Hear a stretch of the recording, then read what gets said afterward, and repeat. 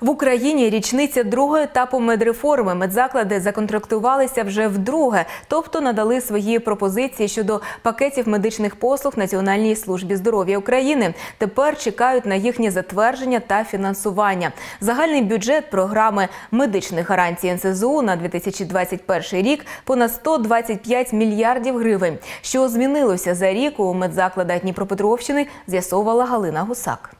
Відновити рухи е, там, де вони були е, не задіяні в роботі. Це і колінні суглоби, і е, гомілкові е, кістки, які дуже часто у дітей травмуються. Це обладнання для виправлення негараздів з опорно-руховим апаратом у дитячій обласній лікарні на космічній закупили, аби НСЗУ схвалила їм пакет надання медичних послуг з реабілітації. Окрім цього, взяли на роботу спеціалістів, яких не вистачало: реабілітологів, ерготерапевтів, психологів. Відтак за рік понад 500 дітей Дніпропетровщини з неврологічними та ортопедичними захворюваннями зможуть лікуватися у новоствореному підрозділі. Ми отримали ще більше кабінетів для того, щоб у нас була можливість надавати е, це в більш таких умовах сприятливих для дітей.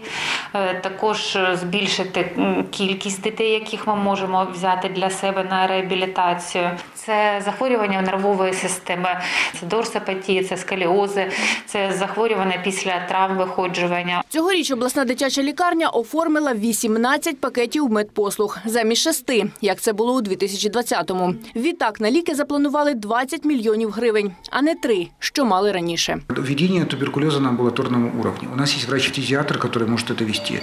Мы заключаем сейчас договор на амбулаторную э, первичную помощь, потому что у нас есть врачи-педиатры, и мы получили лицензию на семейную медицину.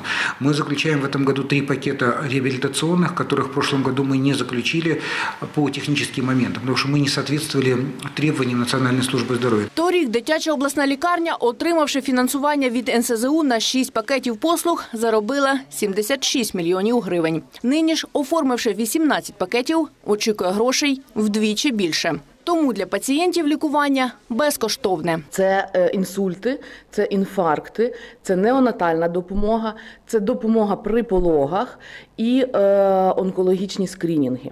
Е, також вся стаціонарна допомога, яка надається в лікарнях, які законтрактовані з Національною службою здоров'я, є безоплатною для пацієнта. А у Дніпровської четвертої лікарні торік було 17 пакетів медичних послуг і 330 мільйонів. Прошлые годы это um, была закупка где-то, может быть, в районе до 10 миллионов, то в 2020 году это была закупка до 80 миллионов на улучшение материально-технической базы. По лекарствам это в 10 раз улучшило. Тепер же четвірка запланувала 20 пакетів. Для цього взяли на роботу ще 14 лікарів і докупили обладнання. Тож очікують збільшення свого фінансування десь на 30%. Відтак, каже Наталія Бут, матимуть гроші, щоб довчити лікарів, придбати потрібне медустаткування, створити кімнату кріозаморожування і пересаджувати стовбурові клітини онкогематологічним хворим. Нині в Україні це роблять лише в Києві, Черкасах та Львові.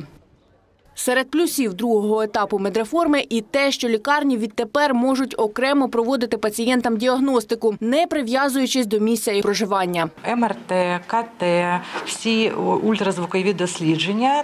Ми зараз отримуємо на них ем, фінансування, тому будь-який житель е, району, міста України може приїхати з електронним направленням і йому безкоштовно будуть е, робити ці обстеження на базі тої лікарні, як- який він вибере. Також відтепер людям не потрібне направлення від сімейного лікаря до гінеколога, стоматолога, психіатра, нарколога, фтизіатра, педіатра та лікарів, у яких пацієнт перебуває на обліку через хронічну хворобу.